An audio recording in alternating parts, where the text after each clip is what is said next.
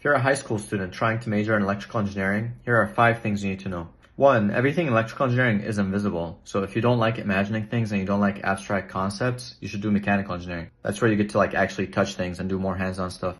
Two, there is math and it is quite hard, but it is learnable. Math is a skill, just like talking, just like anything that you can learn on your own or with the help of others. So don't let it scare you. However, if you absolutely hate math, you can't stand math, you should probably major in something else. Three, you're gonna have to learn both hardware and software. So don't think of electrical engineering as like hardware only you're still going to have to learn how to write code. Four, it is the most diverse engineering major. There's up to 15 different subfields within electrical engineering, which you can check out my channel where I talk more about them. Five, it is a lot of fun and it's very hard, which makes it even more fun because if it was easy, everyone else would do it.